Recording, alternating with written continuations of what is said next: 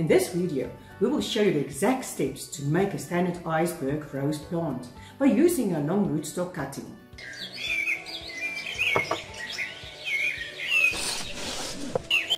Hi, I'm Dr. Elsa Toy from Agriculture Academy, where we teach people how to start a profitable business in agriculture. If you are interested in starting a plant nursery, then download our free ebook. The link can be found in the description below. Remember to like, subscribe and hit the bell button if you enjoy our videos. In this part of two videos, we will show you the exact steps to make and root a long rootstock cutting that is needed for standard rose. Stay tuned to the end of the video as we have a special gift for you. Let's get started. Propagating standard roses is an extremely valuable skill that any horticulturalist or hobbyist can master. Before we get into the details of propagation, let's have a quick recap on the botany of a standard rose. The rose plant can be divided into two parts. The lower part is called the rootstock and the upper part is called the scion.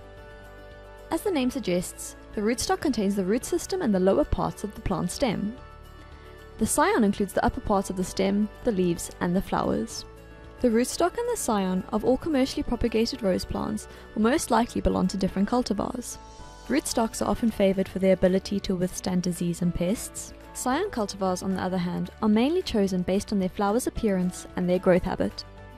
For rootstock propagation you are going to need long stems taken from the mother plant belonging to the cultivar you wish to propagate your rootstock from, a sharp pair of secateurs or scissors, a pair of gloves, a sharp knife, an all-purpose fungicide, some rooting hormone, and a pot filled with rooting medium or soil. Rootstocks are most commonly propagated by cuttings.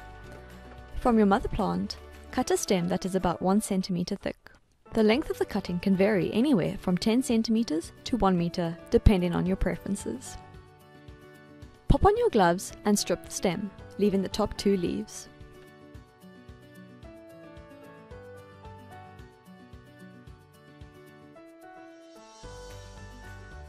You will then need to remove all of the buds along the stem using a sharp knife. Any buds that remain intact can regrow and lead to bushy growth, which is unsuitable for standard roses. After you have removed all of the buds, soak the cuttings in fungicide. Then dip the cut ends into some rooting hormone and place in some soil so that the roots can start to grow.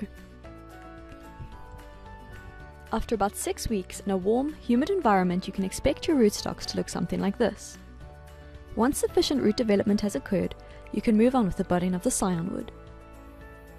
We hope you have enjoyed the video. As promised, we have a gift for you in the form of an infographic. Get the link in the description below. In our following video, part 2, we will put the appropriate scion material on our rooted cutting and finish our standard rose, ready to sell. Make sure you are subscribed not to miss out on this part. See you soon!